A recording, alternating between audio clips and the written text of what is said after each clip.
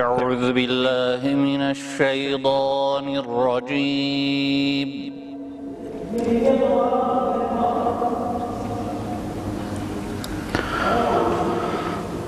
بسم الله الرحمن الرحيم.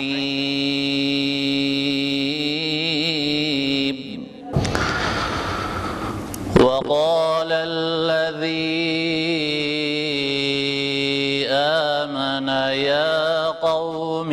اتبعون أهدكم سبيل الرشاد.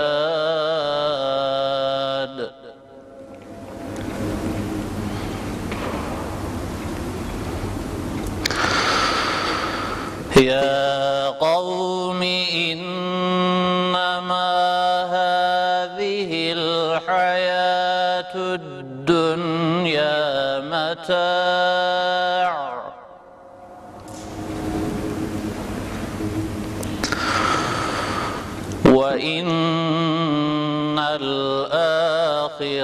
هي دار القرار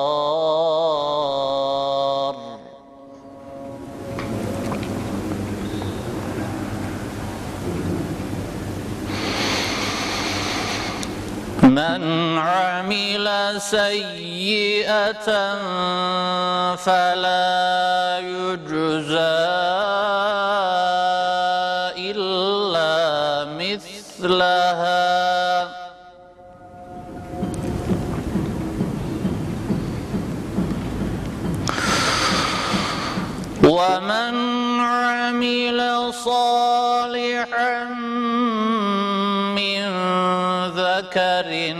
أو أنثى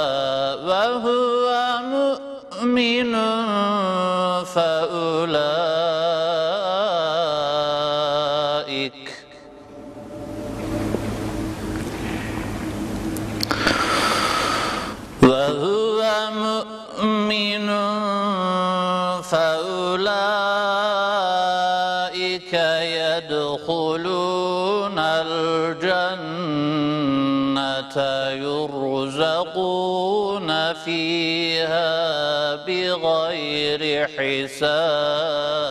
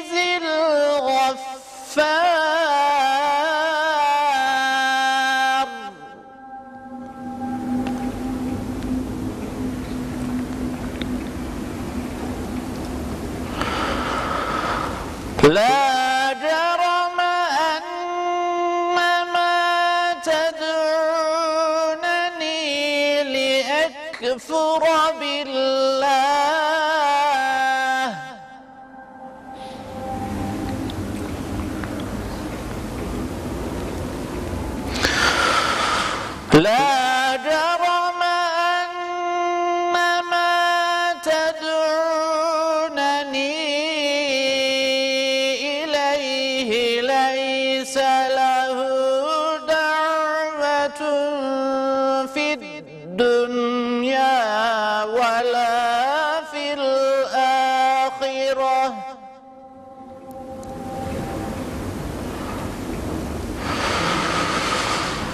ليس له دعوة في الدنيا في الآخرة وأن مرد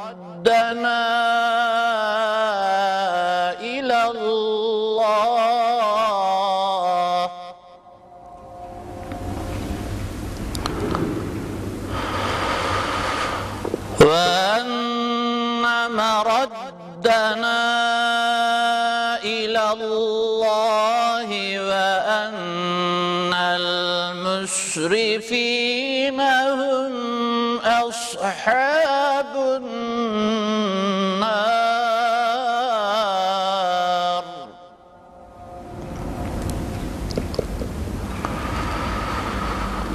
فستذكرون ما أقول لكم. وأفوض أمري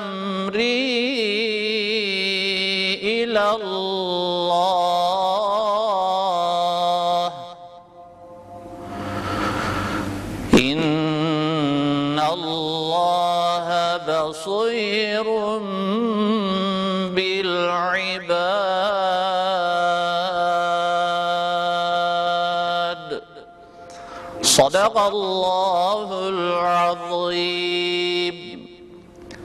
El-Fatiha.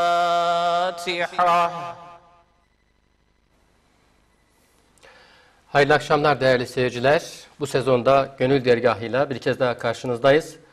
Her zaman olduğu gibi programımıza Mahmut Arslantaş hocamızın bizlere bu akşam Mü'min suresinin 38 ve 44. ayetleriyle başladık. Hocamıza çok teşekkür ediyoruz. Değerli seyirciler, bundan böyle bu sezon, yeni sezon Vizyon 58 TV'de Cumartesi akşamları 22.15 civarında karşınızda olacağız. Ve programımızda çok değerli, kıymetli hocamız Ahmet Akgül hocamızla birlikte Gönül Dergahı programı karşınızda olacak. Ben e, fazla vakit almadan hocamıza hoş geldiniz diyorum. Hoş bulduk. Teşekkür ederim. Evet hocam yeni yayın döneminde tekrar Vizyon 58 TV ekranlarındayız. Ve az önce yine Kur'an-ı Kerim tilavetiyle programımıza başladık. Programımızda Mü'min suresinin 38 ve 44. ayetlerini hocamız bize okudular. Ee, şimdi tabi giriş kısmında ben e, öncelikle Mü'min suresini soracağım hocam. Kur'an-ı Kerim'de yanılmıyorsam 40. sure. Ve e, hocamızın ifade ettiği, okuduğu e, ayetlerde allah Teala bizlere bu sure içerisinde neler söylüyor? Kısaca bir değerlendirirseniz hocam böyle bir girişle başlayalım. E, bu akşamki konumuz aslında vatan, millet ve ümme şuurunu biz konuşacağız. Kısa bir girişin ardından hocam ondan sonra konumuza devam edelim. Buyurun. Euzu billahi mineşşeytanirracim. Bismillahirrahmanirrahim. Elhamdülillahi rabbil alamin. Ves salatu vesselamu ala Resulillahi Muhammedin ve ala ve ala alihi ve ashabihi ecma'in et-tayyibin et-tahirin. Evet.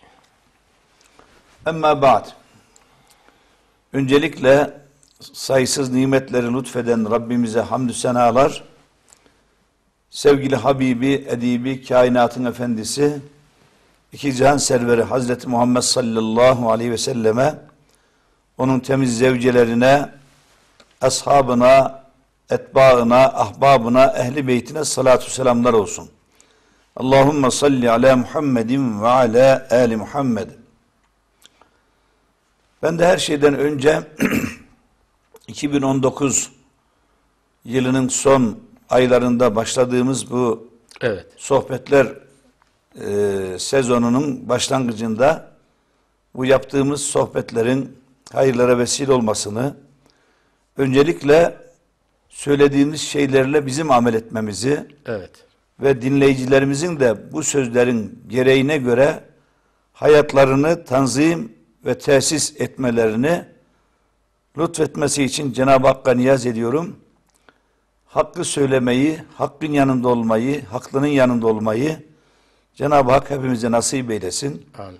Okuduğumuz Kur'an'la, anlamaya çalıştığımız, anlatmaya çalıştığımız sünnetle amel etmeyi Cenab-ı Hak hepimize lütfeylesin inşallah. Hocam bu sene bizim 6. sezonumuz. Evet. 2014'te başlamıştık. Ee, bu yıl 6. sezonda sevgili izleyicilerimizin karşısındayız. bu arada bu imkanı bize tanıyan televizyonumuzun değerli yöneticilerine de teşekkür ediyoruz hocam. Ben de teşekkür ediyorum bize bu imkanı verdikleri için. Şimdi bu Mümin suresi bir başka ifadeyle Gafir suresi. Evet. İki ismi var bu sure-i celilenin. Medine-i Münevvere'de inen surelerden ve 114 surenin içerisinde 40. sure. Evet hocam. Ee, dolayısıyla bu sure-i celile 85 ayetten oluşuyor. Her surede olduğu gibi bu surede de tevhidden bahsediyor. Özellikle Firavun düzenine karşı, Evet. Firavunlaşmış insanlara karşı peygamberlerin mesajlarından bahsediyor. Veya her dönemde Firavun ve Nemrutların dönemlerinde o insanların kavimlerinden, yakınlarından İslam'la müşerref olan kişilerin olduğundan bahsediyor.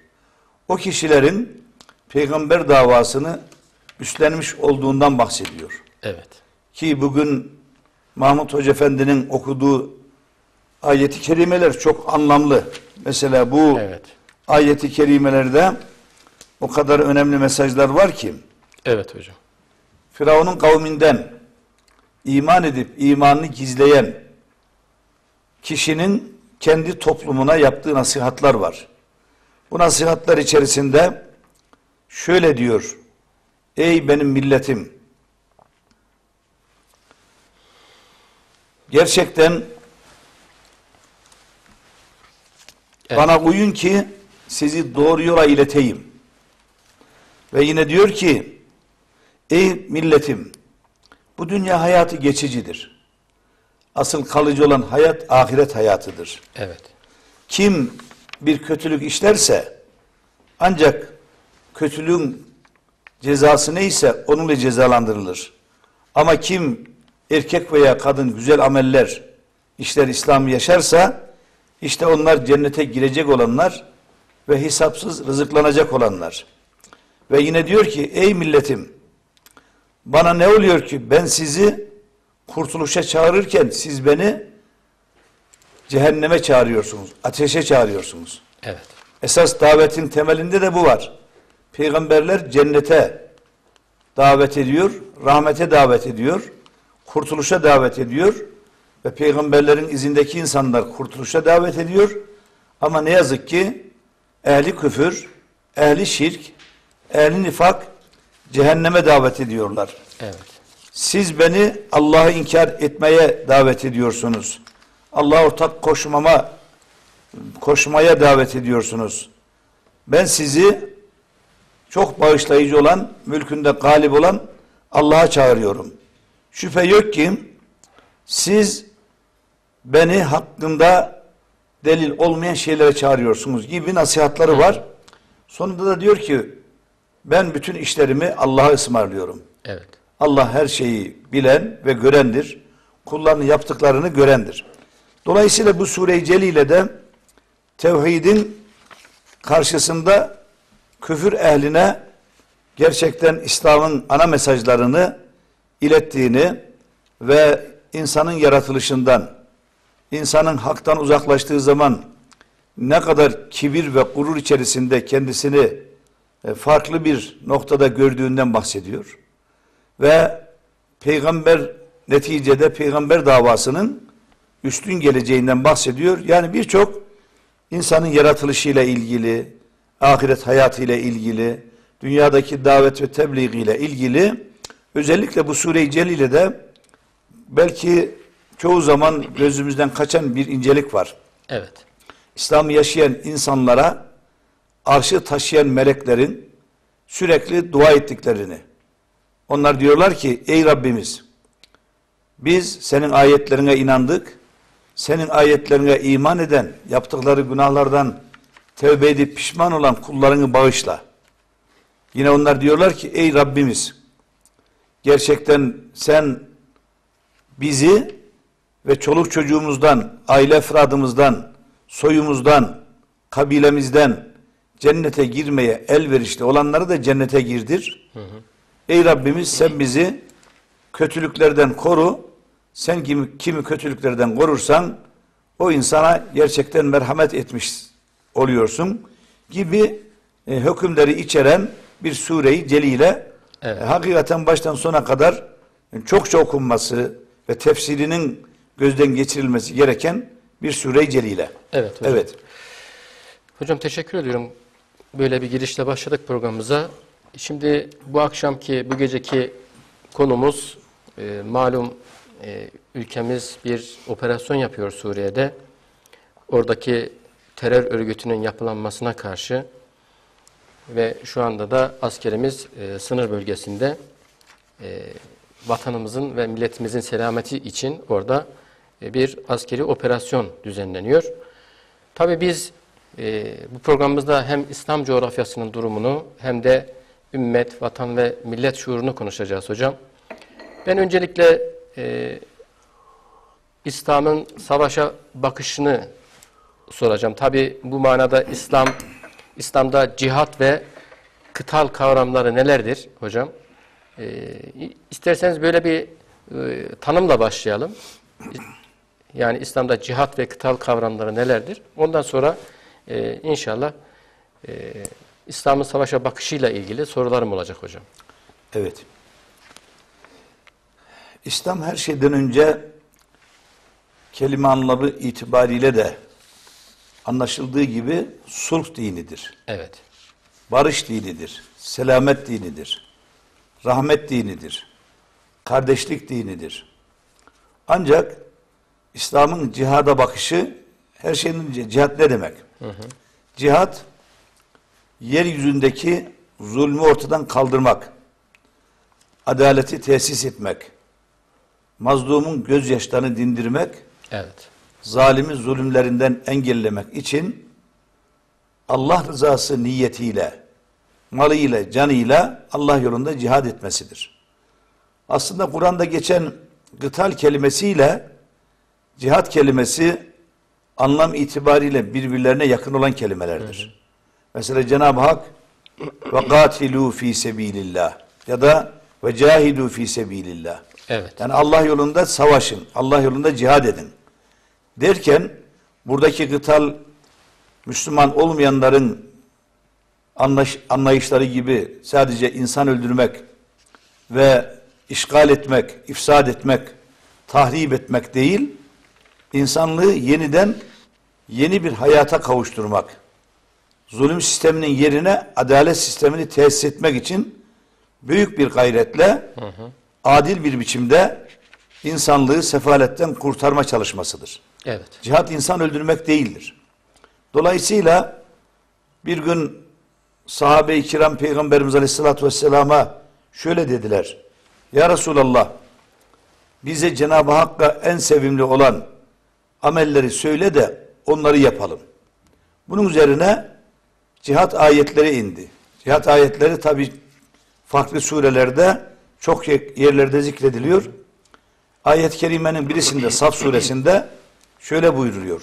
Ya eyyühellezine amenu hel edullukum ala ticaretin tunciikum min azabin elim.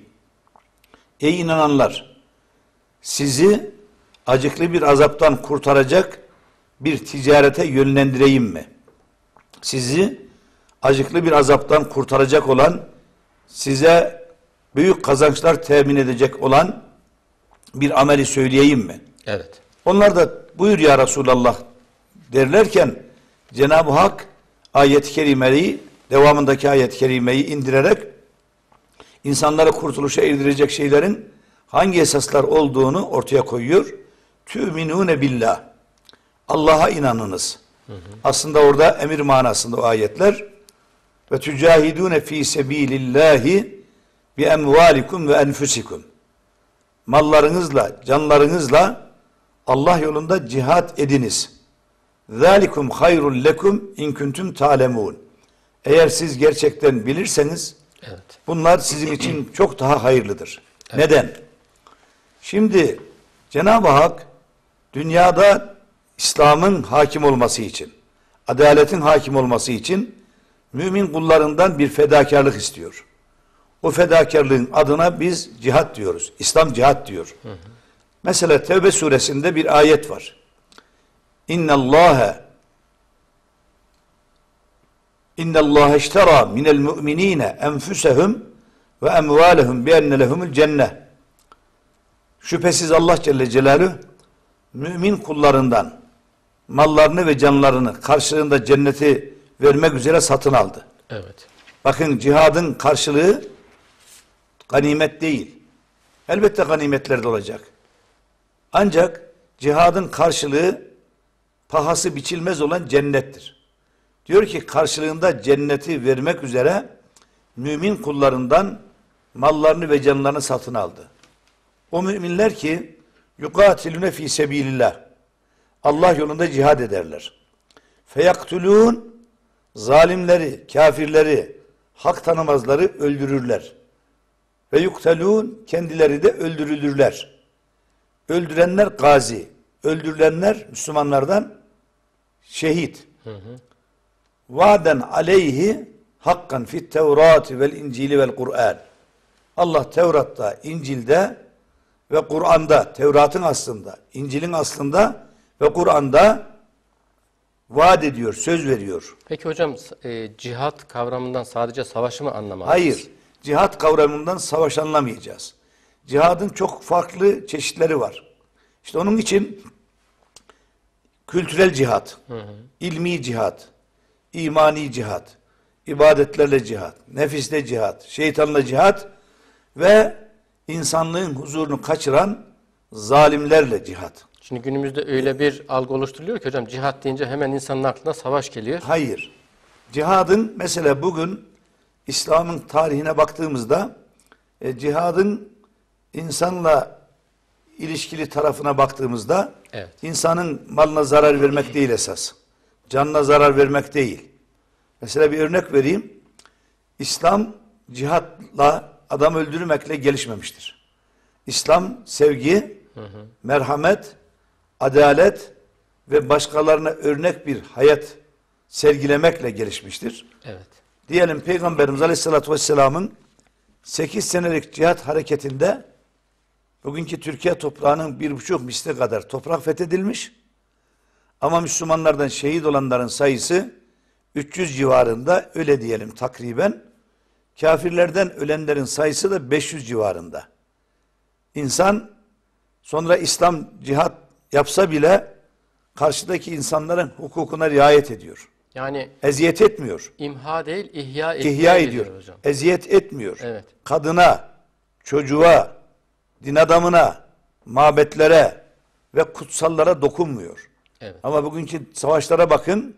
Ne kadar kutsalları varsa Müslümanların evvela bütün çalışmalarında, tahribatında kutsalları yıkıyor. Camiler bunun başında, medreseler, okullar. Sonra savunmasız insanlara yöneliyor. Yani kadın, çocuk, yaşlı, din adamı Evet. bunların imhasına yönelik. İslam dini bunlara savaşta bile dokunmaz, dokunulmamasını emreder ve tavsiye eder. Bu açıdan Müslümanlar işte peygamberimize gelip de bize Cenab-ı Hakk'a en sevimli ameli söyler misin? Dediğinde Allah cihat ayetini indiriyor. Hem de buyuruyor ki İnna Allah yuhibbullezine yuqatilune fi sebilihi saffen keennehum bunyanun mersus. Şüphesiz Allah Celle Celaluhu kendi yolunda saflar oldukları halde düzenli bir biçimde bir binanın taş ve tuğlalarının kaynadığı gibi bir binanın kaynaştığı gibi taş ve tuğlalarının kaynadığı gibi birbirine iyice kaynayan, kaynaşan kendi yolunda cihad eden kullarını sever. Evet. Bu ayet enince bazıları bunu hoşlanmadılar. Çünkü can bedeliyle bunu ödeyecekler. Mal bedeliyle ödeyecekler. O zaman Cenab-ı Hak bir yerde uyarıda bulunuyor. Ya eyyühellezine amenu lime tekulune ma la tef'alun Niçin siz yapmadıklarınızı söylüyorsunuz? Yapabileceğiniz şeyleri söyleyin. Evet. Söylediklerinizi yaşayın. Yaşadıklarınızı söyleyin. Kebura makten indallahi en tekulu ma la tef'alun yapmadığınız şeyleri söylemeniz Allah'ın gadabını, öfkesini celbetme açısından büyük bir şeydir. Bu açıdan İslam dini zalimlere karşı, inkarcılara karşı ve baki diyoruz bugün. Yani Müslüman toplumun huzurunu kaçıran silahlı örgütlere karşı. Evet. Şimdi mesela bugün teröristler bunlar masum gösterilebilir mi? Mümkün değil. Bunlar mazlum gösterilebilir mi? Bakın Türkiye'mizde ve Türkiye dışında Evet. nerede bir terör örgütü varsa bulundukları yerlerde insanlığın en kutsallarını yok ediyorlar. Masum insanları öldürüyorlar. Mabetleri tahrip ediyorlar. Milletin huzurunu kaçırıyorlar. Evet. Dolayısıyla bunlar biz Müslümanız deseler bile Müslümanların kutsallarını yok etmeye çalıştıkları için Kur'an-ı Kerim hakaret edenler var. Evet. Bunlarla savaşmak bir yerde kafirlerle savaşmak gibidir. Terörle savaşmak hiç inanmayan kafir güruhlarla savaşmak gibidir. Evet hocam şimdi bir hatırlatma yapayım. Ee, sevgili seyirciler e, telefon bağlantısı da alacağız. Konumuz vatan, millet ve ümmet şuuru. Bu konuda soru sormak isteyen kıymetli izleyicilerimiz olursa yönetmenimizden de rica edelim. Telefon numaramızı ekranımıza yansıtsın. 0346 225 3011 Bu numaradan bizi arayarak canlı yayında bağlanabilirsiniz programımıza ve hocamıza soru sorabilirsiniz değerli seyirciler. Şimdi hocam şöyle bir görüş var. Şimdi Peygamber Efendimiz e, yaptığı savaşların e, nedenlerini kısaca izah ettiniz. E, deniyor ki işte Hazreti Musa Aleyhisselam ve İsa Aleyhisselam döneminde hiç savaş olmadı, hiç savaş yapmadı bu peygamberler. Ama peygamberimiz e, neden savaştı diye böyle e, soru soranlar var hocam. Yani durduk yerde bir savaş olmadı İslam tarihine baktığımız zaman. E, bu soruyu soranlara nasıl bir cevap verelim hocam? Bir defa bütün peygamberlerin davaları hakkı hakim kılmak. Evet. Adil bir sistemi tesis etmek. Musa Aleyhisselam'ın yıllarca Firavun'a karşı mücadelesi ve Musa Aleyhisselam'ı öldürmek istemeleri işte bugünkü konu başlığı olan Mümin suresinde Evet. Musa Aleyhisselam'ın öldürülmesine karar verildi. Ve o gün nasıl savaş yoktur? Firavun düzeninde doğan erkek çocuklarının hepsi öldürülüyor. Başka bir zamanda kadınlar, kız çocukları öldürülüyor.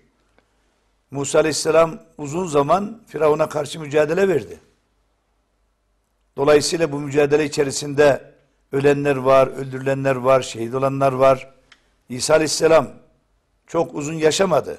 Yani yaşamadı derken dünyadaki durduğu dönem 33 sene kadar. Evet. 33 sene içerisinde yine ona karşı o günkü Romalılar, Yahudiler İsa Aleyhisselam'ı öldürmek istediler. İsa Aleyhisselam'ın suçu neydi?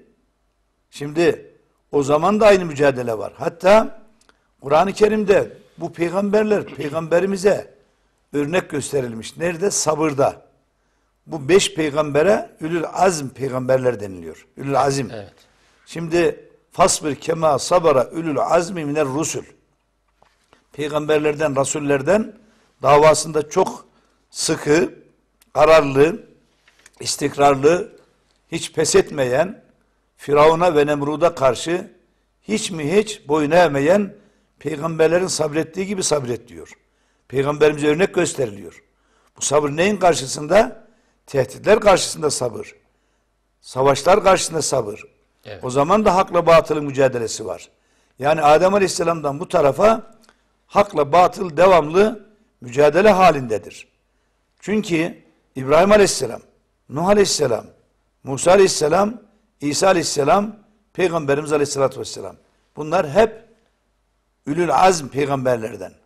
Dolayısıyla onların zamanında da yani mesela daha sonraki dönemlerde Evet. Yahudilerden yani Musa Aleyhisselam'a inandıklarını söyleyen insanlardan öyle zalimlik yapmışlar ki işte bugün Filistin'deki vakayesi olan Yahudiler Hristiyanlardan binlerce, on binlerce Müslüman öldürmüşler. Müslümanların kendi aralarında, şey Hristiyanların kendi arasında e, yüzyıllar savaşı var. Evet. Yani hiçbir zaman savaşsız geçmemiş. Ama peygamberlerin davası insan öldürmek değil, insanı diriltmek, insanı ihya etmek, kainatı ihya etmek ve insanlığı tek Allah'a kulluğa davet etmek. Ama Nemrutların davası kendilerini haşa ilah yerine koyup kendi sistemlerini, despot idarelerini insanlığa dayatmak. Yani dünyada bugün Amerika gibi, Rusya gibi, Çin gibi, Batı ülkeleri gibi kendi batıllarını, kendi yanlışlarını dünyaya dayatmak isteyen insanlardı. Hayatta bu. Bugün de aynen bunun örneklerini görüyoruz. Yani bugün Amerika'nın 15 bin kilometreden kalkıp ta Irak'a gelmesi, Suriye'ye gelmesi, efendim daha yakın bölgelere gelmesi bu ne ne ifade ediyor?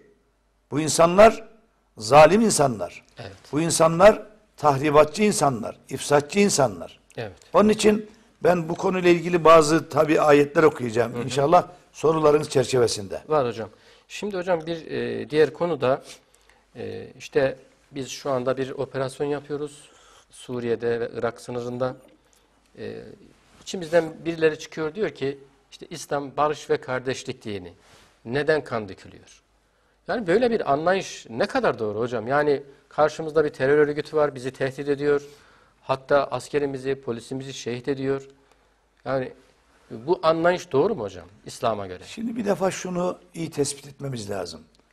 Size saldıran taraf, zalim taraf, kim olursa olsun nefsi müdafaa esası var. Nefsi müdafaa esasına göre çünkü İslam'ın ana temel esaslarından nefsi koruma, Evet. nesli koruma ve malı koruma, canı koruma, aklı koruma, dini koruma esasları var. Şimdi bu terör örgütlerine baktığınız zaman sizin bu bütün değerlerinizi yok ediyor. Buna karşı her şeyden önce nefsi müdafaanız, nefsi müdafaa hakkı ortaya çıkıyor. Kaldı ki bu insanlar senelerden beri Evet. e, yani bütün kutsallara karşılar. Ancak ben burada bir şey söyleyeceğim. Şimdi Cenab-ı Hak bir defa Kur'an'da Müslümanların dost ve düşmanlarını iyi tanımalarını birçok ayetlerde ifade buyuruyor. Evet. Yani Müslümanlar dost ve düşmanlarını iyi tanımalı. Bu konuda ciddi gaflet var. Kim dostumuz, kim düşmanımız? Kim bizimle beraber hareket ediyor? Kim karşımızda hareket ediyor? Kim açıktan düşmanlığını ortaya koyuyor? Kim münafıkane içten düşmanlık hislerini e, ortaya koyup hem de her ülkede kendi isteklerine de yandaşlar bularak Evet. bu zulmü, bu desiseyi, hileyi devam ettiriyor. Bunları tanımak lazım. Şimdi Cenab-ı Hak bize her şeyden önce müminlerin kardeş olduğunu söylüyor. Müminlerin. İnnemel mu'minune ihve. Ancak müminler dinde kardeştirler. Ama yıllardan beri müminleri o hale getirdiler ki müminleri birbirine taktılar. Müminleri birbirine düşman ettiler. Evet. Yani baktığınızda taraflarım o tarafı da Müslümanım diyor, bu tarafı da Müslümanım diyor. İran da Müslümanım diyor, Irak da Müslümanım diyor. Yıllarca bunları savaştırmadılar mı? Evet. Suriye yine baktığımızda ne oluyor? Yani bir idare tarafı var. Bunların hepsi gayrimüslim değil. Müslüman. Bir de bunların zulümlerine karşı çıkan taraflar var. E bunlar da Müslüman. Yıllarca düşmanların tuzağına düştü Müslümanlar. Dolayısıyla dost ve düşman tespitini Müslümanlar yapamadı. Mesela devletler çok hilebaz yani devletler derken e, sizi seviyoruz diye e, gülücükler atan işte Batı alemi e, yine Amerika Birleşik Devletleri daha diğerleri hadi zatında sizi sevmezler. Allah böyle ifade ediyor. Ama siz tutar da bunlara bunlar bizim müttefikimiz. Bunlar bizim dostumuz. Kafirden dost olmaz bir defa. Her şeyden önce Allah'ın kuralı bu.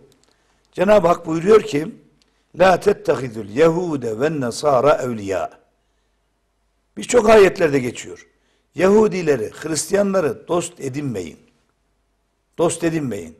Bu dostluğun manası siyasi ilişkileriniz olmasın, Yani çıkarımız gereği ticari ilişkileriniz olmasın, ekonomik ilişkileriniz olmasın, sosyal ilişkileriniz olmasın demek değil. Evet. Bunun manası şudur. Onların bozuk yaşantılarını yaşantı tarzı olarak almayın. Onları kendinize veli edinmeyin. Önder edinmeyin. Kılavuz edinmeyin.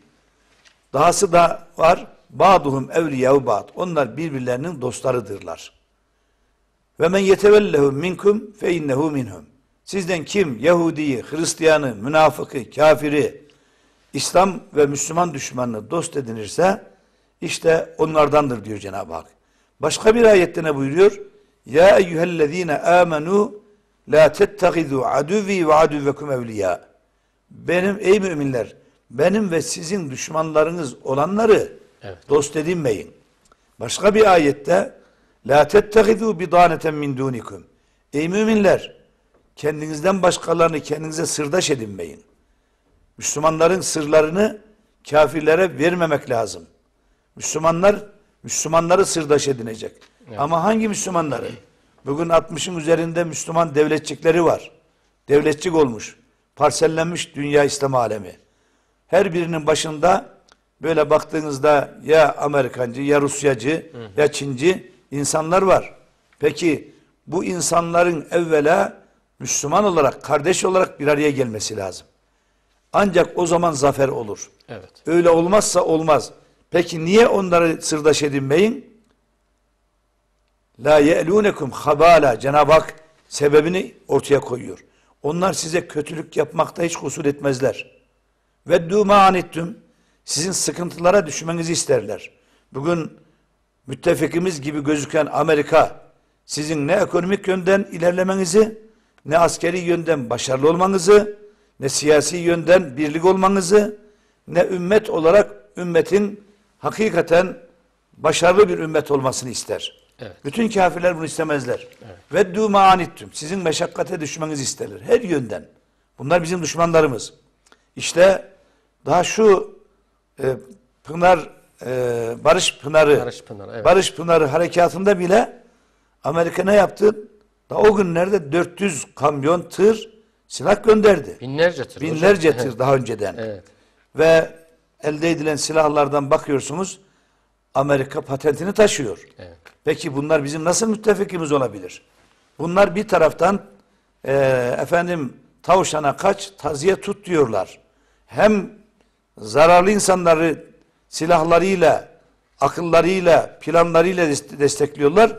Bir taraftan da size yalandan diyorlar ki biz sizinle müttefikiz. Öyleyse bizim bir defa düşmanlarımızı iyi tanımamız lazım. Allah'a, Resulüne, ümmete, Evet. ümmetin değerlerine düşman olan insanlarla ilişkilerimiz olsa da onlar bizim dostumuz değil. Onlar zaten zaman zaman kad bedetil bagdâ'u min efvâhihim ağızlarından size karşı sizi sevmedikleri, size karşı kin ve nefretleri dökülür durur. Ama ve ma tuhfi suduruhum ekber. Onların sinelerinde, kirli sinelerinde gizledikleri planları daha büyüktür. Bu açıdan Evet. Bugün bu teröre e, hareket olmasın denildiği zaman şimdi e, geçmişte siyasi hayatta çok böyle e, spot cümleler konuşan e, siyasetçiler var. Tamam mı? Bu siyasetçiler zaman zaman ümmeti uyarıyorlar. Uyardılar. Mesela e, bunlardan isimlerini söylemeyeceğim. Bir tanesinin sözü diyor ki Suriye parçalandığı zaman Suriye tahrip edildiği zaman o zaman sıranın Türkiye'ye geldiğini bilin. Hedef Türkiye. Şimdi hedef Evet, Türkiye. evet. Bugün Amerika'nın, Rusya'nın, bütün Batı ülkelerinin gayesi Evet. Türkiye'yi Suriye'ye çevirmek. Yani bir kardeş e, savaşı, kardeş kavgasını oluşturmak. Bizim bu oyuna gelmememiz gerekir. Onun için bizim bir defa millet olarak Türkiye önemli bir coğrafi noktada. Türkiye çok yönlerden önemli. Yani dünya ülkelerinin en önemli stratejik bir e, noktasını teşkil ediyor. Dolayısıyla Türkiye'nin hakikaten hezimete uğraması, Türkiye'nin zarara uğraması ümmetin zarara uğraması demektir. Hocam az önce ifade ettiniz. Evet. İslam ülkelerinin başında bulunan yöneticiler ne yazık ki Maalesef başında bulundukları o ülke insanlarını yani Müslümanları temsil etmiyorlar. tabii ki Dolayısıyla onlar şu anda yani ümmet dediğimiz e, Müslüman kardeşlerimiz büyük bir sıkıntı içerisindeler. Baskı içerisindeler. e, dayatma altındalar. Halk Ve Türkiye'den Türkiye'den yardım bekliyorlar evet hocam. bu halk noktada. değil daha çok baştakiler. Evet. Yani bugün mesela Suudi Arabistan'ın e, halkı tamamen o idareyi yansıtmıyor. Evet. Halk bizim gibi e, yani kafirlere karşı dik durmayı arzu eden, Evet. zulme her zaman karşı duran insanlardır. Libya'da da öyle, Irak'ta da öyle, Mısır hocam. Suriye'de de öyle, Mısır'da da Evet. öyle. E, ama gelin görün ki kafirlerle işbirliği yapan, onlara gerçekten el altından fırsat veren, Müslüman gözüken insanlar var. Bunlar yani ülkelerin ismini saymaya gerek yok. Esas ümmeti yıkan bunlar. Evet. Ümmet dik dursa, sağlam dursa, bir yerde Müslüman kan akıyorsa, o Müslüman kanını durdurmak istese ve gerçekten zulme karşı mücadele veren, teröre karşı mücadele veren, e, işte Türkiye gibi bir ülkeye maddi manevi yönden destek verse, o zaman bu çatlak sesler olmayacak. Kaldı ki kendi içinde de çatlak sesler var. Halbuki Türkiye'nin korunmasında, değerlerimizin ileriye gelecek nesle taşınmasında böyle bir harekatı bütün Müslümanların, bütün insanların, vatanımızda yaşayan bütün insanların desteklemesi lazım. Evet. Müslüman ülkelerin desteklemesi Evet. lazım. Hocam şimdi e, savaş ayetlerinin verdiği mesajları soracağım ama e, bu operasyon devam ederken şöyle bir tartışma da çıktı. Fetih suresinin okunmasıyla ilgili hocam. İşte Fetih suresinin e, savaşlarda okunmasının ne gereği var, ne anlamı var e, diye karşı çıkanlar oldu. Hatta e, ordumuz operasyon düzenlerken e, bazıları da e, bunu teşvik eden Diyanet İşleri Başkanlığımıza karşı da e, bir e, karşı tutum sergilediler, eleştirdiler Diyanet İşleri Başkanlığımızı. Neden Fetih Suresi okunuyor, amacınız, gayeniz nedir diye farklı yaklaşımlar sergilendi. Şimdi hocam yani bu tür e, askeri operasyonlarda yani savaşta Fetih Suresinin okunması dinen caiz mi? Onu soracağım. Evet. Şimdi bir defa İslam'da şu var. Enfal suresinde bir ayet-i kerime var.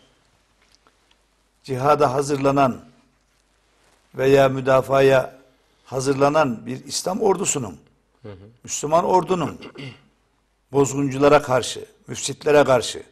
Şimdi burada sadece bu e, Barış Pınarı harekatı oradaki YPG'ye, PYD'ye, diğer onların yandaşlarına ya da PKK'ya karşı değil. Tüm küfür alemine karşı aslında bu.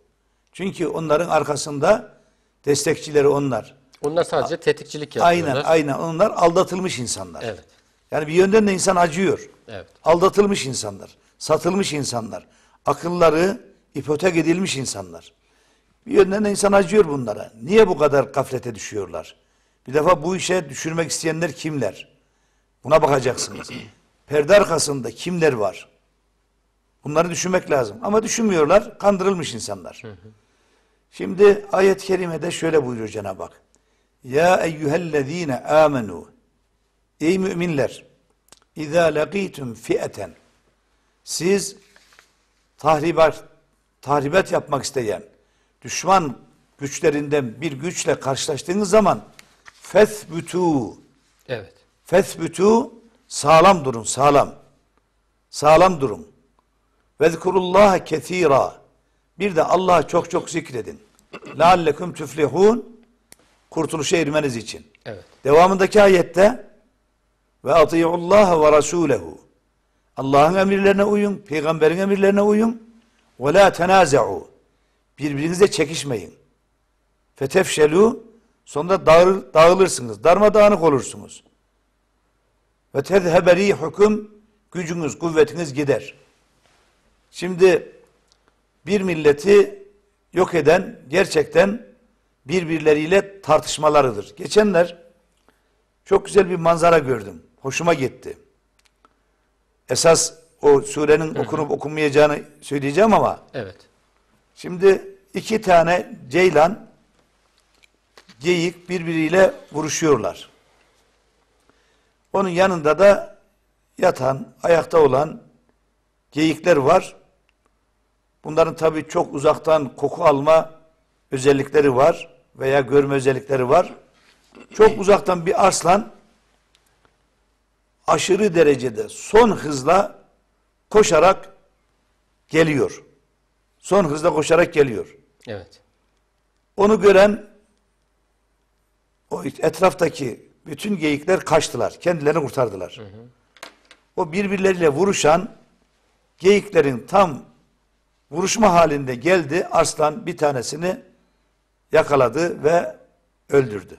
Evet. Orada diyor ki yazıda işte birbirleriyle mücadele edip e, birbirlerini yemeye, birbirlerini yenmeye çalışan toplumlar dışarıdan gelecek tehlikeleri anlayamazlar. Siz eğer o geyikler gibi birbirinizle vuruşursanız gücünüz gider. Sizi siperde bekleyen düşmanlarınız var. Evet. Sizin o gafletinizden faydalanıp siz birbirinizle vuruşurken onlar gelip aniden hücum ediyorlar ve sizi yok ediyorlar. Onun için Osmanlı'dan sonra şu anki İslam coğrafyasının durumu aynen bu. Aynen bu. Evet. gerçekten o kadar e, ibret bir tablo. Evet. Çok hoş e, böyle bir tablo.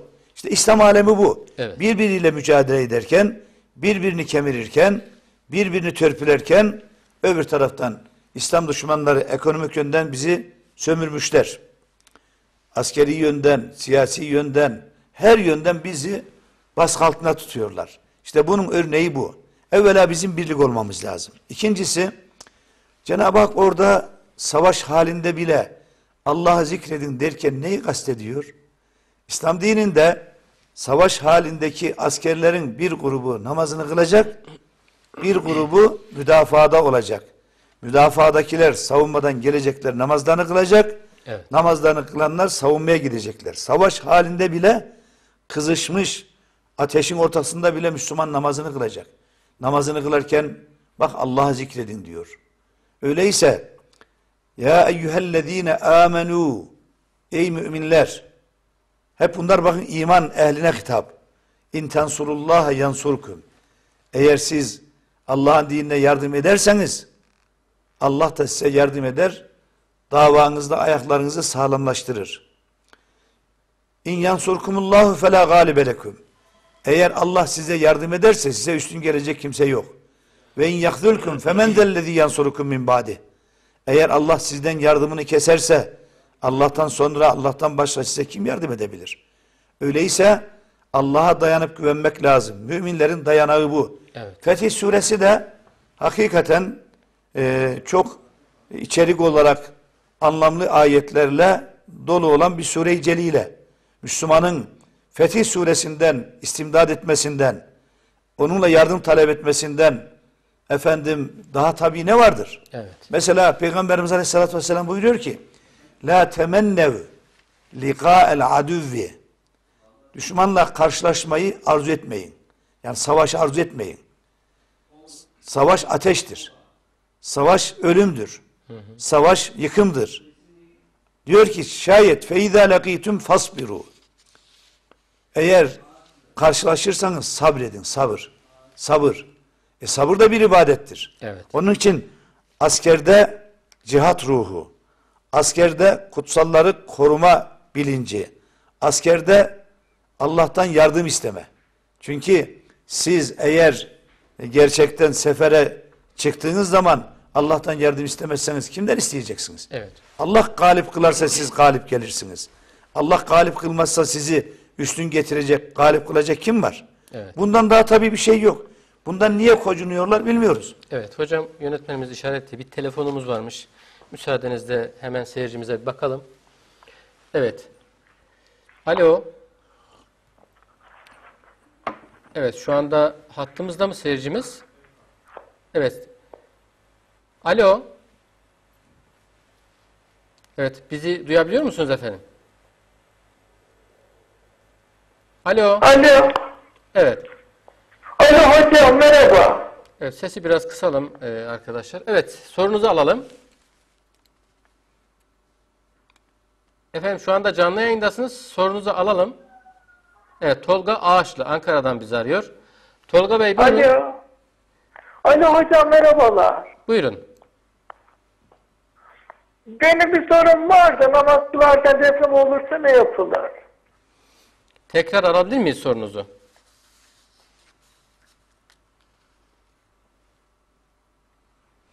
Alo. Evet, hattan düştü. Hocam soruyu anlayabildiniz mi? Peki. Seyircimiz tekrar e, ararsa e, kendisiyle görüşeceğiz, sorusunu alacağız. Evet hocam şimdi e, ayetin ayetlerin Kur'an-ı Kerim'de geçen ayetlerin e, savaşla ilgili olan mesajlarına değiniyorduk hocam. Evet. Şimdi Enfal suresinin e, birçok ayet vardı hocam savaşla ilgili. E, Enfal suresinin 39. ayetinde fitne kalmayıp din Ya. tamamıyla Allah'ın dini oluncaya kadar Savaş. onlarla savaş. Yani Ya, o cihat manasına. evet. Ve katiluhum hatta la tekune fitnetun ve yekune dinu kulluhu lillah. Evet. Yani dinin tamamı Allah için oluncaya kadar ve yeryüzünde fitne, fesat, terör, anarşi, inkarcı e, demeyelim de buna e, zulüm kalmayıncaya kadar Evet. savaşın. Buradaki savaş cihattır. Evet. Şimdi bir defa Müslümanların mücadelesi sadece cephede e, teröre karşı ya da e, sizi mahkum etmek isteyen güçlere karşı olmayacak. Yani bir de içinizde ne kadar insanlığın huzurunu bozan kötülükler varsa Evet. mesela inkar bir fitnedir. İnkar. Nifak, münafıklık bir fitnedir. Ee, zina bir fitnedir. Faiz bir fitne sebebidir. Kumar bir fitnedir. Bunları da ortadan kaldırıncaya kadar mücadele edin. Evet. Şimdi Müslümanların zaferi sadece dış düşmanlara karşı mücadele etmekle olmaz. Bir de içteki yanlışları, içteki aileyi tehdit eden, gençliği tehdit eden, imanı tehdit eden, ahlakı tehdit eden kötülükleri de ve insanları rahatsız eden kötülükleri de ortadan kaldırmak lazım ki toplumda huzur olsun, mutluluk olsun, kardeşlik olsun ve barış olsun. Yani biz sadece dış tehlikelere karşı mücadele eder de içerideki değerlerimizi yok eden kötülüklere karşı mücadele etmezsek Evet. o zaman yine mağlubiyetimizin e, sebeplerinden olabilir bu. Evet hocam. Evet. Şimdi hocam e, yine bir ayet var. Bakara suresinin 143. ayeti. Şimdi konumuzda ümmet. Evet. Ümmeti konuşuyoruz. Şimdi Allahu Teala Bakara suresinin 143. ayetinde şöyle buyuruyor. Biz sizi öyle dengeli, ölçülü bir ümmet yaptık ki insanlığa önder, imam olasınız. Resulullah da size önder, imam olsun diye e, aslında ayetin devamı var hocam. Giriş kısmı bu şekilde. E, orada çok e, farklı mesajlar veriliyor hocam. Hem müminlere hem insanlık alemine Allahu Teala. Bakara suresi kaç? 143 hocam. E, sadece ben giriş kısmını aldım bu ayetin. Biz Evet. sizi öyle dengeli, ölçülü bir ümmet yaptık ki insanlığa önder, imam olasınız ve Resulullah, Resulullah da size önder, imam olsun diye devam ediyor Evet, bu ayet. evet, Burada evet. ümmet olmanın bilincini aslında Müslümanlara, müminlere Şimdi mesaj olarak vasat veriliyor. ümmet. Ve kezalike cealnakum ümmeten vesadan litekunu Evet. şühedâ alen-nas ve yekûner rasûlü aleykum şehîdâ. Bu ümmet aslında inanan ümmet insanlığın sigortasıdır. Evet. Bu ümmet birlik olsa, bu ümmet birbirinin yanında olsa, yani güç oluştursa, bu ümmet tüm insanlığın sigortasıdır. Ümmeti vasat demek, adaletli bir ümmet. Adaletli ümmet ne demek? Yani savaşsa da, barış halinde olsa da, düşmanı da olsa, dostu da olsa, hiç mi hiç zulme meyletmeyen, zalimi alkışlamayan, hakkın karşısında efendim e, batılı desteklemeyen, batıla boyun eğmeyen, hakkı tutup kaldırmaya çalışan orta bir ümmet, vasat bir ümmet. Dengeli bir ümmet, dengeli. Peki hocam- Niçin? Siz insanların tamamına şahit olacaksınız. Peygamber de size şahit olacak. İmam değil orada. Evet. Şahit olma, Evet. şahit. Evet. Dolayısıyla Peygamber aleyhissalatü vesselamın zaten kurduğu İslam devleti bu dengeyi oluşturdu. Bu dengeyi oluşturdu. Yani Peygamberimizin Medine devletinde baktığınızda insanların yüzü güldü. Değil e, Müslümanların, gayrimüslimler de e, zulmün pençesinden kurtulmuş oldular. İnsanlığın yüzü güldü. Hocam şimdi günümüzde ümmet deyince farklı yorumlayanlar oluyor. Yani ümmet denince biz ne anlamalıyız hocam? Şimdi ümmet bir defa e, bugünkü tabirle bir ulus toplumu var. Evet. E, Bir de ümmet e, toplumu var. Ulus her e, efendim ülkenin kendi e, milleti, toplumu. Yani Türkiye ulusu diyor misal. Evet. Kürdüyle, Türküyle, Çerkeziyle, Arabiyle, Acemiyle e, Türk vatandaşı, Türk milleti diyor misal. Şimdi mesele böyle şahsileştirmek değil. Biz ümmetiz. Ümmet ne demek? Dünyanın neresinde La ilahe illallah Muhammedur Resulullah diyen bir insan varsa bu ümmetin bir parçasıdır. İnanan ümmetin Yani parçasıdır. ırkı, dili, Yani kültürü Doğu Türkistan'daki evet. Türk, Orta Asya'daki Türkler, Balkanlardaki insanlar, efendim Kuzey Afrika'daki insanlar, Güney Afrika'daki insanlar, Evet. Asya'daki insanlar, Avrupa'daki insanlar, bir defa insanlık içerisinde kim Müslümansa bu inanan ümmetin bir şahsı, bir parçasıdır. Esas bu işte bizim için. Ümmet şuuru bu. Ümmet şuuru bu. Ama insanlık olarak da tüm insanlığın aslında saadeti için, mutluluğu için bir çalışma gerekiyor. İşte vasat ümmet o. Evet. Yani ümmet özelde inananlar, genelde tüm insanlığın mutluluğu için öyle bir düzen kurmalı. Ama bu düzeni dışarıdan ithal edilen sistemler, kokuşmuş sistemlerle değil. Zaten bu sistemin adresi belli. Allah'ın kitabı Kur'an'dan, Resulullah'ın sünnetinden ve İslam hukukundan, İslam dininin özünden elde edilen bir sistem ki buna İslam sistemi diyorsunuz. İslam insanı öyle bir değerlendiriyor ki inananı da inanmayanı da Evet. zalimi de mazlumu da gerçekten dengeli bir şekilde değerlendiriyor. Yani kim neye layıksa, kimin hakkı neyse o hakkı sahibine veriyor. Dolayısıyla böyle bir sistemin mensuplarına ne diyoruz biz? Ümmet diyoruz, Müslüman diyoruz. Cenab-ı Hak öyle buyuruyor. Ve inne hâzihi ümmetukum ümmeten vahide ve ene rabbukum fa'budun ve ene rabbukum fettegûn. Sizin ümmetiniz tek ümmettir. Evet. İnanan ümmet. Ben de sizin Rabbinizim. Öyleyse bana kulluk yapın. Allah'a kulluk yaparken Allah'ın koyduğu kurallarla bu işi e, ne yapmamız lazım? Tanzim ve tesis etmemiz lazım. Bugün insanlığın çıkmazı bu zaten. Şu inanan ümmet dediğimiz ümmet bugün ünvanını kaybetmiş. Ercan Bey adresini kaybetmiş. Toplanma merkezini yanlış adreslere vermiş. Yani biz toplanma merkezi diyoruz değil mi? Evet. Toplanma merkezi hani şimdi İstanbul'da filan geçenler bir deprem oldu ya. Deprem olduğunda Allah göstermesin Cenab-ı Hak ne İstanbul'umuza ne Türkiye'mize ne alem İslam'a böyle bir afet vermesin. İnsanlığa vermesin böyle bir afet. Şimdi deprem olduğunda hani toplanma alanları tespit ediliyor. Toplanma. İşte böyle bir hal olduğunda insanlar nerede emniyetli bir alanda toplanacaklar. Oralar tespit ediliyor. Aynı şekilde güvenli alan, güvenli merkez İslam'dır. Evet. Bunu da Cenab-ı Hak وَاَعْتَصِمُوا بِحَبْلِ اللّٰهِ جَمِيعًا وَلَا تَفَرَّقُوا Hepiniz birden topluca, cemaat olarak, ayrı ayrı değil, cemaat olarak. Yani sadece Türkiye ayrı, Irak ayrı, Suriye ayrı, Afganistan ayrı, Pakistan ayrı, Endonezya, Malezya, Evet. bunlar ayrı ayrı değil. Hepiniz birden cemaat olarak, ey ümmet, Allah'ın ipi olan Kur'an'a sarılın. Ve la teferragu. Bölünüp parçalanmayın. Bölünüp parçalanırsanız Çin Doğu Türkistan'daki Müslümanları yok eder. Efendim öbür taraftan Hindular Arakan'daki Müslümanları ya da Keşmir'deki Müslümanları yok eder. Bir taraftan Sırplar Bosna Hersek'teki Müslümanları yok eder. Evet.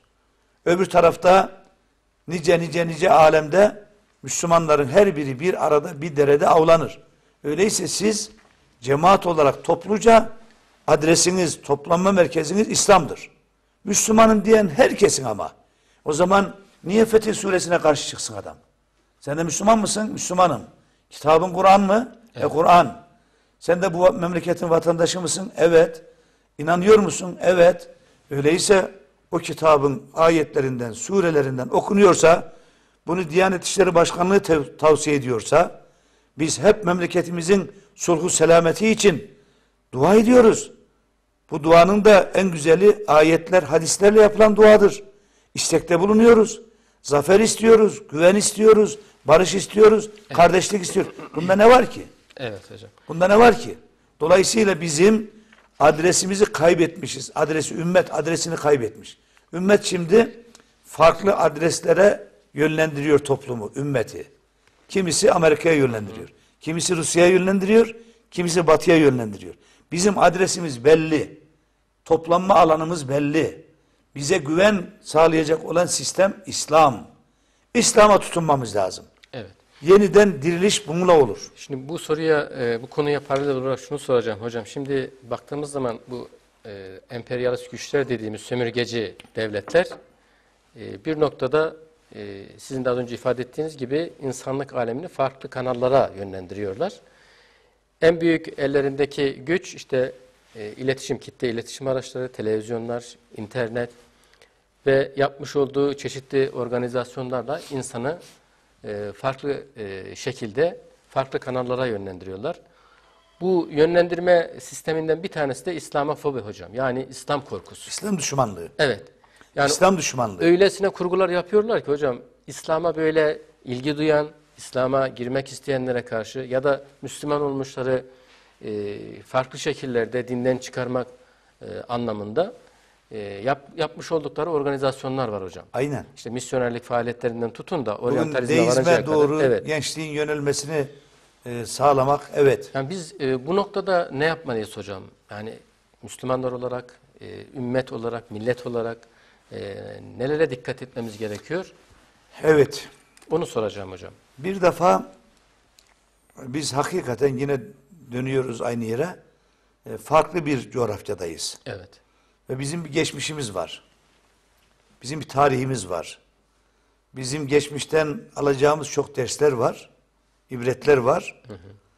Ee, bizim yeniden geçmişteki izzete, geçmişteki itibara, geçmişteki şan ve şerefe, geçmişteki adalete, geçmişteki düzene dönmemiz için Evet.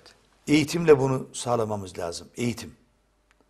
Evvela Müslümanların kendi inancını iyi bilmesi lazım. Adam bugün Müslümanım diyor kelime-i şehadeti bilmiyor. Müslümanım diyor peygamberini tanımıyor. Evet. Müslümanım diyor kitabını anlamıyor. Müslümanım diyor tarihini bilmiyor. Müslümanım diyor ibadeti yok. Müslümanım diyor birçok haramları işliyor. Haramları işlemeye de teşvik var. O zaman bu ümmetin bu tür saldırılardan korunması mümkün değil. Bu saldırıların panzehiri İslam'dır. İslam'ı bilmek ve yaşamaktır. İslam'ı bilmek ve yaşamak için de madem Müslümanız, Müslümanım diyen herkese doğru bir İslam'ı öğretmek gerekir. Evet. Doğru İslam'ı. Doğru İslam'ı öğretmek de ta temelden başlayacak. Temelden başlayacak. Yani hangi dalda olursa olsun bir üniversiteyi bitiren bir Müslüman gencin kız olsun erkek olsun veya orta dereceli okulları bitiren bir Müslüman gencin dünyayı tanıdığı kadar dinini tanıması lazım. Daha çok tanıması lazım. Ama biz bunu veremedik. Biz bunu veremiyoruz. Bakın bugün inşallah o kadar olmayabilir ama yapılan istatistiklerde diyor ki a- e, 6 milyon dünyada deist Müslüman gençler var. 6 milyon. Evet. Yani e, bir başka ifadeyle e, efendim Müslüman toplumun yüzde altısı deist olmuş. E, deizm ne demek? Kendilerince kolay bir inanç. İnançsızlık değil, inanç açısından kendilerine değer. Bir Allah inancı. Yaşadığı gibi Ama, bir i- ama inan- Allah'ın emirlerini kabul etmiyor, yasaklarını kabul etmiyor, peygamberlik müessesesini kabul etmiyor, ölüm sonrası hayatı kabul etmiyor, haram helali kabul etmiyor. Allah bizim dünya işlerimize karışmaz diyor. Kuru bir, sığ bir Allah inancı. Bu inanç sistemi bu akımlardan nasıl kurtulacak? Evet. Bu saldırılara karşı kendisini nasıl koruyacak? Ailesini nasıl koruyacak? Öyleyse bizim bu tür saldırılardan korunmamızın tek e, tiryaki, ilacı, şifası, reçetesi İslam'a, İslam'a, İslam'ı bileceğiz, İslam'ı öğreneceğiz. Evet hocam. Hocam e, vatana ihanetin hükmü ve bedeli İslam'a göre nedir? Vatan ihanet e, adı üzerinde. Vatanın değerlerine ihanet, vatanın e, bölünmesine çalışmak. Bu büyük bir hainlik. Şimdi tabii bugünkü ifadeler çok değişik de Evet. İslam devletine diyeceğiz. Bugün yeryüzünde İslam devleti e, yok sayılıyor ha. Hiç İslam devleti yok yeryüzünde. İslam devleti. Halk Müslüman Evet. tamam mı? Ama yönetimler değişik. Yönetimler İslami değil. Evet. Şimdi İslam devletine karşı çıkan bugünkü anlamda teröristler. İslam koku anlayışına göre de bagiler, eşkıya kesimi. Evet. Silahı almış elin- eline meşru bir sisteme karşı çıkmış. Onlara asker gönderilir, mücahitler gönderilir. Eğer tevbe eder teslim olurlarsa ne ala. Evet. Teslim olmazlarsa onlar yok edilir. Evet hocam Hatta bagilerin de Evet. cenazesi kılınmaz. Evet. İslam'a göre İslam devletine karşı İslam devletine diyorum. İslam devletine karşı çıkan eşkıya eğer o çatışma esnasında öldürülürse namazlarda kılınmaz. Kafir oldukları için değil. Başkalarını böyle bir şeye tevessül etmekten caydırmak için. Evet hocam bir telefonumuz varmış. Müsaadenizle ona bakalım. Alo. Alo selamun aleyküm. Hayırlı akşamlarınız olsun. Aleykümselam. Ee, Seyfettin Bey e, İsviçre'den bizi arıyor. Ee, ikinize de hayırlı akşamlar diliyorum. Hocamı televizyonda gördüm. Hocam hayırlı akşamlarım olsun. Ben e, Seyfettin tanıdım değil mi Tanıdım, tanıdım. Tanıdım tabii ki. El, nasılsınız? Nasılsınız? iyisiniz inşallah. Elhamdülillah sizler de iyisiniz. Sağ olun hamdolsun. Ee, konuşmanızı dinliyoruz. Allah razı olsun. Teşekkür ediyoruz Seyfettin. Faydalanıyoruz. Allah razı olsun. E, sorunuz var mı hocamıza? Ee, yok sadece ben bir dedim bir Evet. e, selam vereyim. Öyle bir halini hatırını sorayım diye. Allah razı olsun. Bütün kardeşlere selamlar. Oldu. Hayırlı akşamlarınız olsun hocam. Çok sağ Selamun olun, aleyküm. Sağ olun. Allah razı Aleykümselam olsun. Seyfettin Bey. Evet. Selam vermek için aramış İsviçre'den. Kendisine teşekkür ediyoruz. Hocam bir de e, harp diyarı ve darül harp meselesi var hocam. Bu yine e, tartışılan bir konu. Bu iki kavramın İslam açısından e, açılımı nedir hocam? Anlamı nedir? Kısaca e, bununla ilgili de biraz izleyicilerimize bildirelim. Evet, İslam diyarı, Farklı değerlendirmeler İslam, Harp. oluyor. Bunlar çok nazik konular. Evet. Ben eee, anlaşılacak şekilde bir iki cümleyle ifade Çok edeyim. kısa bir şekilde hocam. İslam, Darül İslam, İslam'ın ahkamının yaşandığı yer. Evet. İslam'ın hükümlerinin yaşandığı yer. Darül Harp ise İslam'ın hükümlerinin yaşanmadığı ve Müslümanlarla anlaşma halinde olmayan, Evet.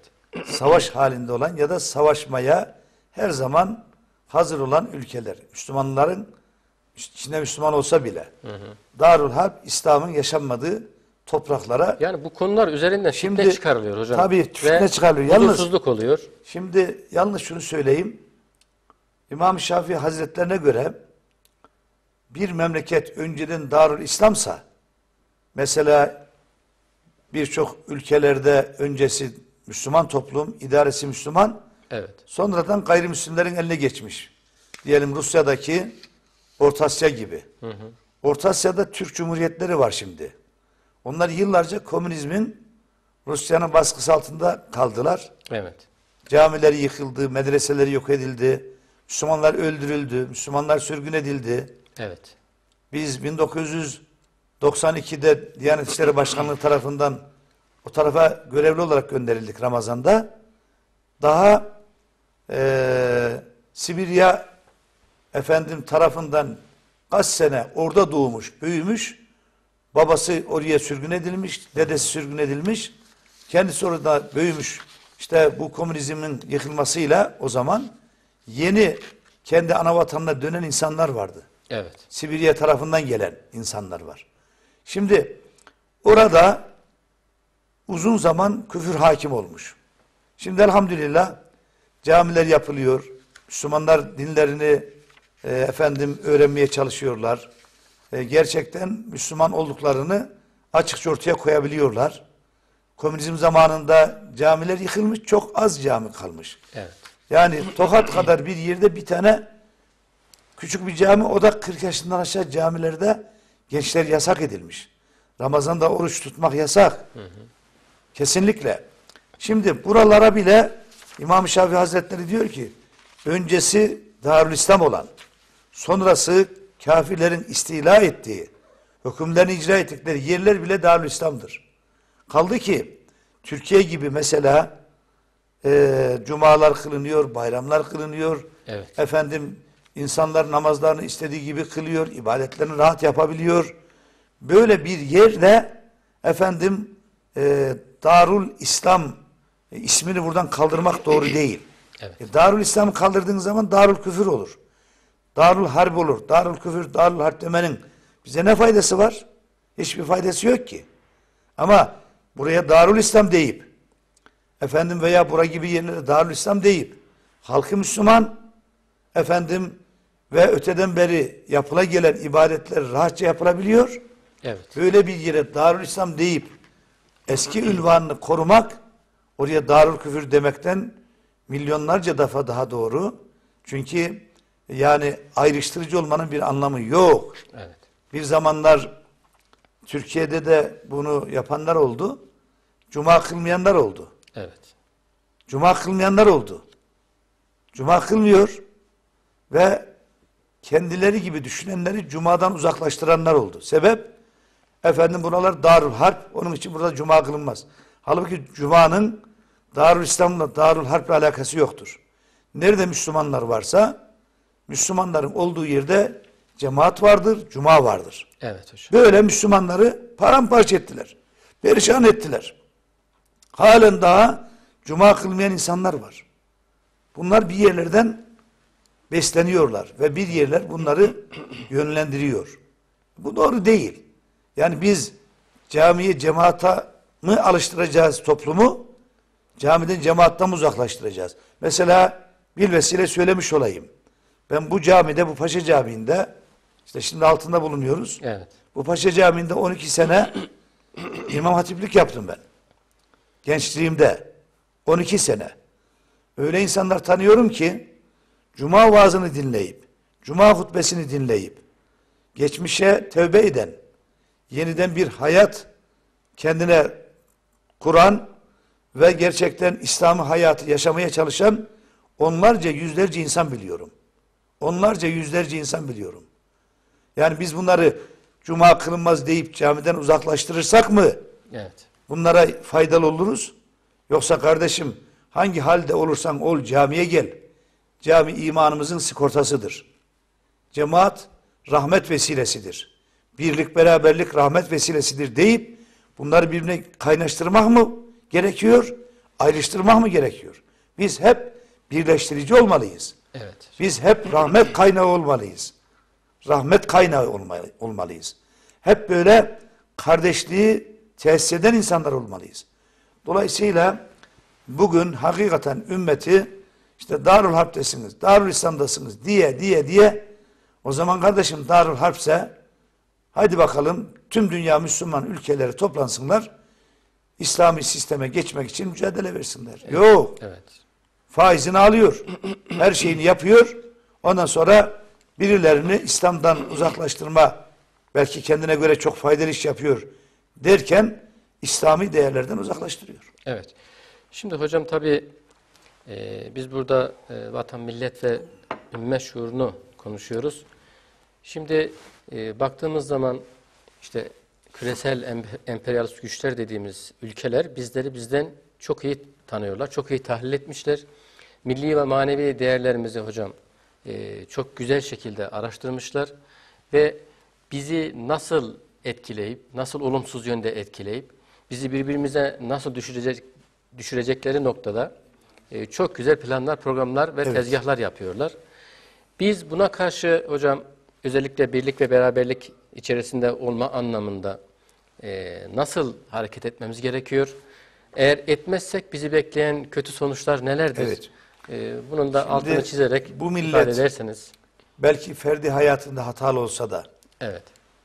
İslami yönden belki her şeyi yaşamasa da, e, mesele vatan, namus, şeref, e, ümmet ve ülke olunca Evet. bu milletin önünde duracak hiçbir gücü yoktur. Bakın ben 1974'te Kıbrıs Harekatı'nda askerdim. Kıbrıs Harekatı'nda. Evet. Kıbrıs Harekatı başladı ve başımızdaki komutanlar namaz falan kıldıkları yoktu. Harekat başlayınca askerleri öyle manevi yönden motive ediyorlar ki işte Allah izin verirse şunu yapacağız, Allah izin verirse bunu yapacağız. Ya bizim serhoşumuzun bile vatan sevgisi çok farklı. Bizim İslam'ı hiç bilmeyenlerin bile İslam sevgisi veya vatan sevgisi başka. Evet. Şimdi de bu vatan, mesele vatan olunca, mesele vatanı savunma olunca, ümmet ve ülke meselesi olunca bu ümmet birbirini çok iyi tanıyor, kucaklaşıyor, kaynaşıyor. İşte biz bu yıkıcı faaliyetlere karşı Evet. uyanık olmalıyız. Nereden zarar geliyor onları hissetmeli ve onların alternatifi bizi birbirimize kaynaştıracak harçları iyi muhafaza etmeliyiz. Bizi kaynaştıran harç, bizi ümmeti kaynaştıran harç, iman, kardeşlik, sevgi, merhamet harcıdır. Ve bunun da oluşması için birbirimizi gördüğümüzde selamlaşacağız, hal hatır soracağız, Müslümanı hatalarla beraber seveceğiz, ümmeti seveceğiz E, ve düşmanlara karşı gülünç hale gelmemek için birbirimize destek olacağız. Şimdi bu destek konusunda aklıma bir şey geldi. Bir baba çocuklarını toplamış. Onlara ders vermek için Evet. işte orada ağaçlardan kesilmiş, koparılmış çubuklar var. Evet. Oğlum görev vermiş onlara her birine. Şu çubukları teker teker kırın bakalım. Kırmışlar. Çocuklar ne için olduğunu bilmiyorlar.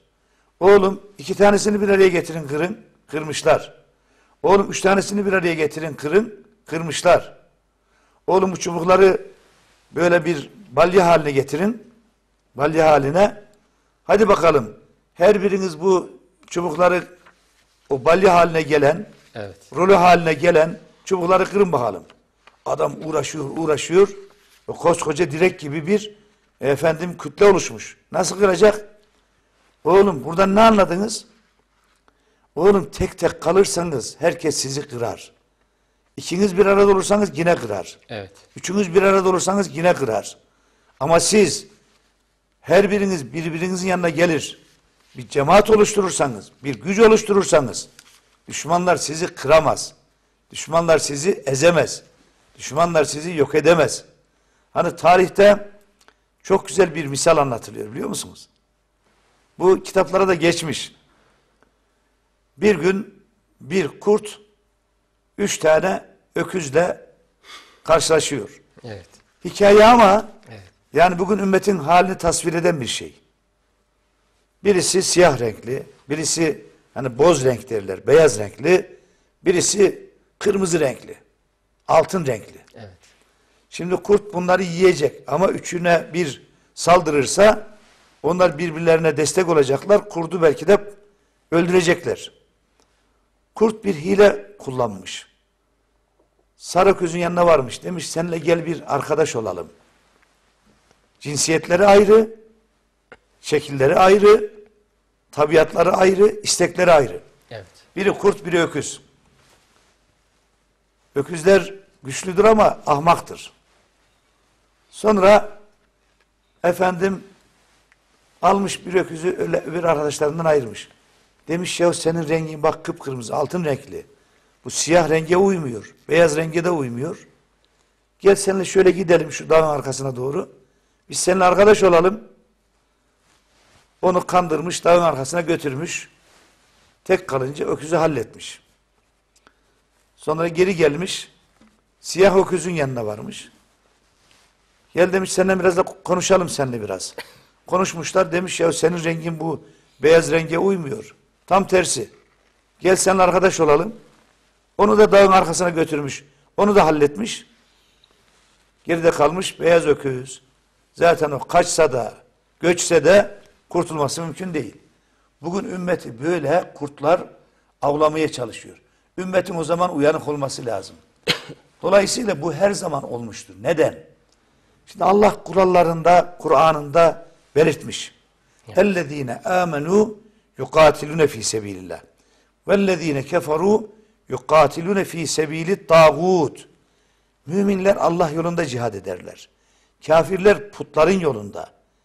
Despot önderlerinin, liderlerinin uğrunda savaşırlar. Firavunlar için, Nemrutlar için, Şeddatlar için, Karunlar için savaşırlar.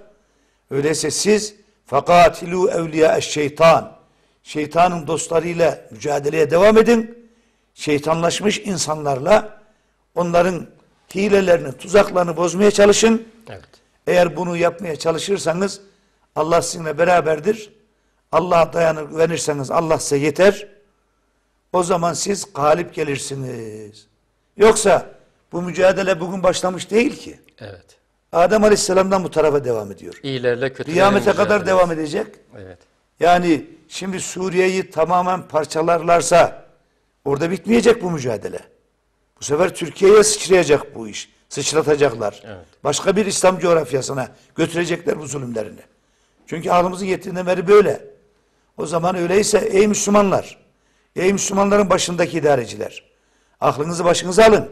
Evet. Hiçbir zaman için size bugün sevgi besleyen, sizin yanınızdayız diyen, size destek veren efendim insanlar hiçbir zaman siz dara düştüğünüz zaman size yardımcı olmazlar. Bu neye benziyor biliyor musunuz? Haşir suresinde bir ayet var. Kemetheli şeytan şeytanın benzeri. İz kâle lil insanik fur. Şeytan tuzağına düşürdüğü insana der ki hadi inkar et. Felemma kefera. O insan da onun aldatmacalarına inanıp Evet. inkar ettiği zaman sonra şeytan göstermelik olarak der ki Gale inni beri mink sen dinden çıktın, kafir oldun. Ben senden uzağım. İnni ahafullah rabbel alemin. Münafıkça. Ben alemlerin Rabbi olan Allah'tan korkuyorum. Sana bir azap gelir. O azabı benim de düşmemem için ben Allah'tan korkuyorum, senden uzağımdır. Şimdi İslam düşmanları da şeytan gibi Müslümanların yanına geliyor. Müslümanlara asıl düşman tarafını, düşmanlık tarafını göstermiyor. Evet. Dost gibi gözüküyor. Ona silah veriyor. Ona gıda veriyor. Ona plan veriyor. Proje veriyor.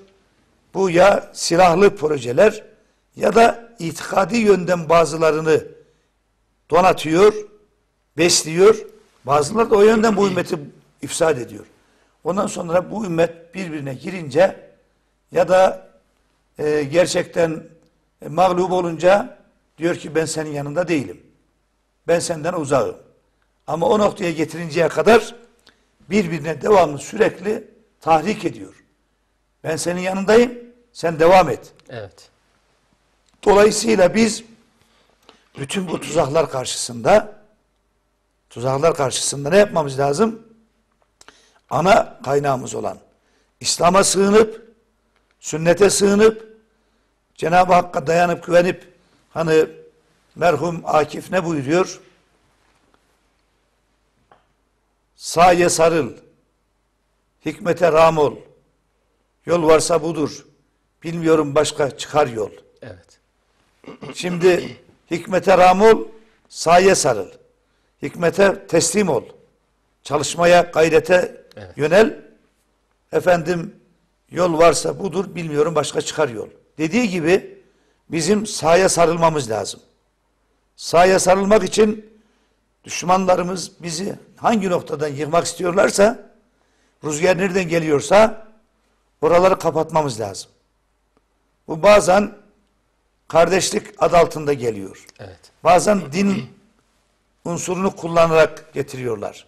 Bazen kültürel yönden geliyor. Bazen siyasi yönden bütün bu yıkıcı faaliyetleri elimizin arkasıyla iteceğiz ve böylece hakikaten İslam ümmetinin kurtuluşu için yeniden bir uyanış, yeniden bir dirilişe sahip olmaya çalışacağız. Bu gayreti kuşanacağız. Hocam e, şimdi e, bir hakkı da teslim etmemiz lazım.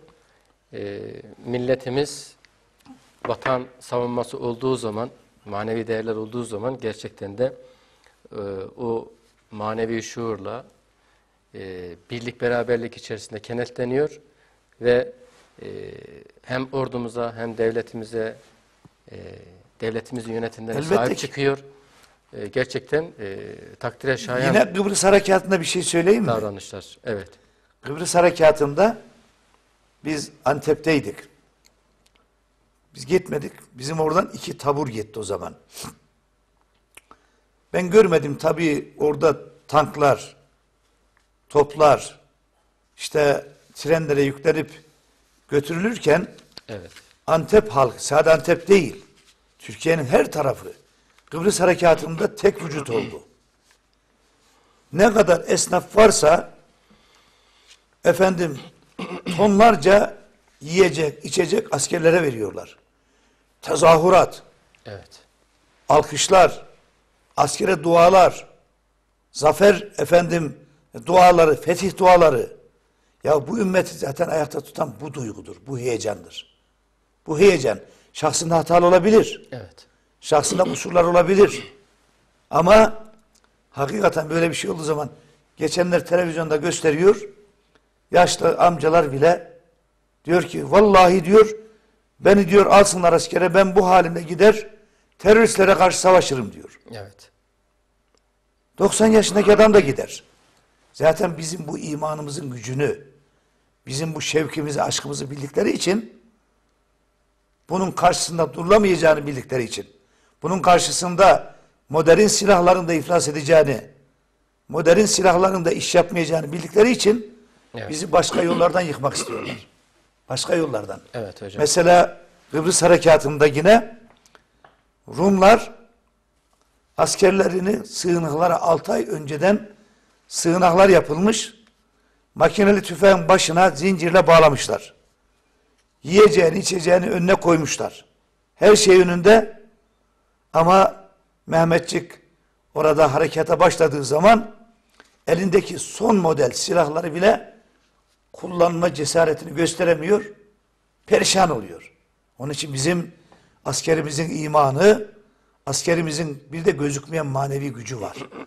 O manevi gücü nice kaleleri, kuleleri yerin dibine geçirir Allah'ın izniyle. Evet.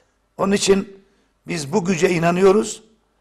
Bu insanımızın vatan, din, namus, şeref ve şeriat davasını, İslam davasını savunmadaki aşkına, şevkine inanıyoruz. Evet hocam. Hocam son dakikalarımız artık e, toparlayacak olursak e, bu gece programımızda vatan, millet ve ümmet şuuru noktasında neler söylersiniz hocam? Özetle bitirelim. Evet, hakikaten bu dönemin ilk programındayız. İlk program olması itibariyle ben e, vatanımızın korunmasında, değerlerimizin, mukaddeslerimizin korunmasında bütün kadın, erkek, amir, memur, yaşlı, genç, zengin, fakir, öğretmen, öğrenci, herkesin bu vatan savunmasında birlik olmasını Evet. ve bir de bunları yaparken özellikle gençlerimize, yavrularımıza, Mevlamıza karşı sorumluluklarımız nelerse iman sorumluluğu, ibadet sorumluluğu, hakka teslimiyet sorumluluğu bu sorumluluklarımızı anlayarak Evet. kulluk bilinci içerisinde yeniden derlenmemizi istiyorum. Hakikaten e, biz belki sıkıntı başımıza gelmeden sera serpa yaşıyoruz. Evet. Ama sıkıntıyla karşılaştığımız zaman o zaman hadiseler anlıyoruz. O sıkıntılar gelmeden ümmet olarak rahmeti celbedecek olan, rahmeti, bu ümmete rahmeti celbedecek olan Evet. güzel bir yaşantıya İslam sevdası, İslam sevgisi, Kur'an sevgisi, din sevgisi, vatan sevgisi, vatan aşkı ilkeleriyle bu toprakların daha on binlerce sene sonra olsa bile gelecek nesillere aktarılması için Evet. gayret etmemiz gerekiyor. Bizim nesle yeni çağa örnek olmamız gerekiyor. Bunu yapmak için de hakikaten kul olmamız gerekiyor. Kul olursak Allah Celle Celaluhu geçmişte İslam ordularına melekleri vasıtasıyla yardım ettiği gibi onlara başarıları ihsan ettiği gibi bugünkü orduya da gözükmeyen güçleriyle yardım edeceğini biliyoruz, inanıyoruz ve tüm Müslümanların birbirleriyle kardeşlik duygular içerisinde Evet. kucaklaşmalarının elzem olduğuna inanıyor ve böylece bütün e, vatanımızın, bütün İslam beldelerinin e, belalardan, saldırılardan, zalimlerden, hainlerden korunmasını Cenab-ı Hak'tan niyaz ediyorum. Bu vesileyle tüm bizi dinleyen kardeşlerimize de bereketli bir ömür, sağlıklı bir hayat, ibadetli bir hayat lütfetmesini Cenab-ı Hak'tan niyaz ediyorum. Hocam çok teşekkür ederiz. Allah razı olsun. Ağzınıza sağlık. Böylece ilk programımızı burada noktalıyoruz hocam. Ben tekrar size teşekkür ediyorum. Allah razı olsun.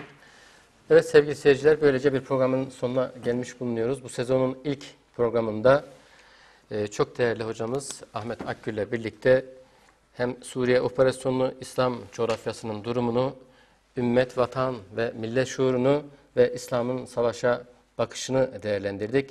Bir başka programda tekrar karşınızda olmak ümidiyle hepinize mutlu geceler, mutlu yarınlar diliyoruz efendim. Hoşçakalın. Thank you.